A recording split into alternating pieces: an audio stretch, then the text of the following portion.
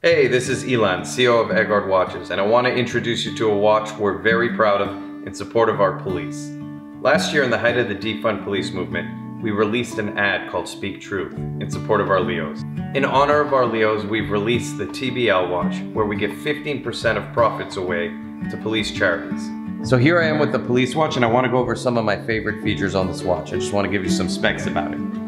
It's got great water resistance, 200 meters with a screw down crown. It's got a sapphire crystal, which is something you should be looking for on, your watches. It's very scratch resistant. It's got a unidirectional rotating bezel, as you can see right there. It's got really firm clicks on it. You can hear them as I turn. And one of the things I love most about this watch, it's also got Swiss Superluminova, so it'll light up at night. But my favorite thing about this watch is on the case back, it's got a beautiful embossing of St. Michael in honor of our police, and it says protecting those who protect others. So please visit our website, check out the collection, as well as some amazing podcasts we've done with LEOs and first responders.